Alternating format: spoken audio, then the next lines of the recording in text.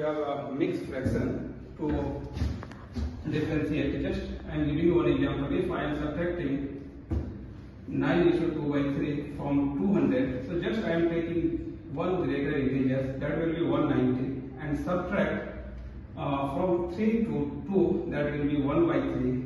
So this will be your answer.